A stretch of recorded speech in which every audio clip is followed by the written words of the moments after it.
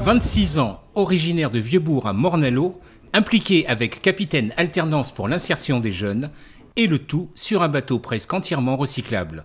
Tous les ingrédients étaient réunis pour que le projet Route du Rhum 2022 de Kenny Piperol soit soutenu par la CNGT.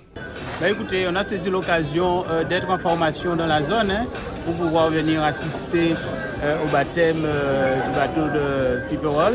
Et donc, nous avons pu échanger avec lui, lui, lui apporter notre soutien, lui dire qu'on était derrière lui, qu'on allait pousser de là où on sera et que la communauté, les élus de la communauté ont tenu à l'accompagner dans cette aventure et que nous serons là pour faire une petite prière pour qu'il arrive à bon port et qu'il arrive très bien à bon port.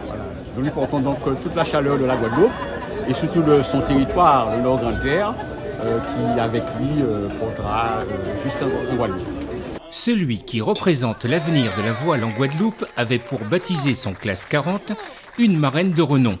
Carole Grandjean, la ministre déléguée chargée de l'enseignement et de la formation professionnelle, et un parrain bien connu en la personne de Damien Seguin, ce qui ne l'empêche pas de porter haut les couleurs du Nord-Grande-Terre et de la Guadeloupe.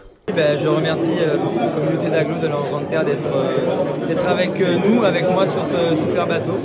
voilà, on, a hâte de partir. Le départ c'est dans une semaine, un petit peu plus. Donc on est dans les starting blocks et puis merci d'être là. La transition écologique est un axe fort des politiques publiques de la CNGT.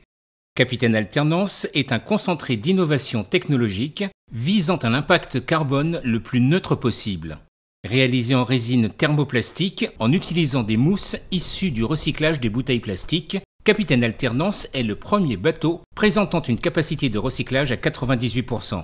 Une motivation pour la communauté d'agglomération de participer à un projet qui rend compatible performance sportive et enjeux environnemental.